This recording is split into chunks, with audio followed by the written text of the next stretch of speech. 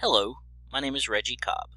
I am a biology professor at Nash Community College who enjoys teaching both on campus and online. In this video I will demonstrate how to set up a Big Blue Button session in Moodle and how to create an area for students to view recorded sessions. First, you will need to turn editing on using the button in the top right corner of the course page. Then, add an activity in the section you want.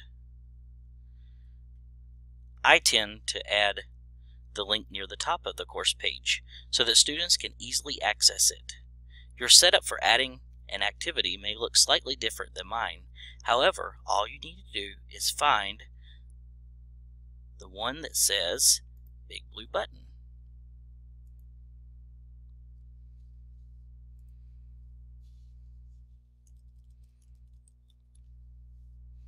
After adding the name of the session, I suggest that you select the option to open in a new window. You can also add a welcome message if you want, as well as select whether or not you want students to wait for you to enter first. For the participants section, you may alter the set settings as necessary. I tend to leave the default settings as they are.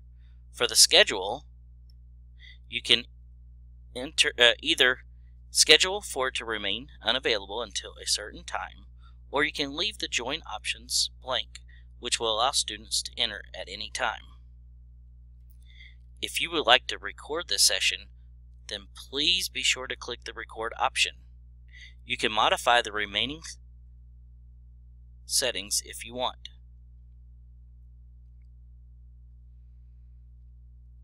For example, you can only allow certain groups to participate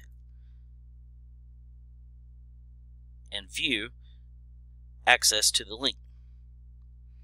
And if you are an online instructor and plan to conduct a Big Blue Button conference during the first week, please be sure to add a restriction that requires students to complete the EVA activity prior to participating in the Big Blue Button sessions. Save and return to course.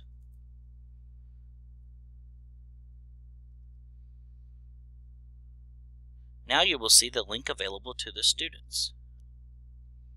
If you are recording the session, then you also need to add a link to the recordings. To do so, select the RecordingsBN from the Add a Resource link.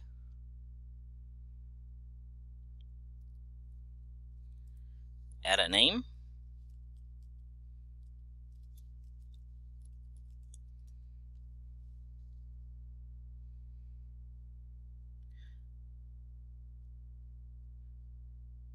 Be, uh, please be aware that you are creating an area for all of the recordings to be available, not the name of a specific section session. Therefore, the name should be related to all Big Blue Button recordings that will be available in the course. Modify any other aspects as needed, such as restricting access until the EVA activity is complete if you're an online instructor. Save and return to course. The easiest way to tell the difference between the link to the Big Blue Button session and the link to the Big Blue Button recordings is the red dot on the icon for the recordings link. I hope that this information will be helpful to you when using Big Blue Button in Moodle. If you have any questions, please feel free to contact me via email.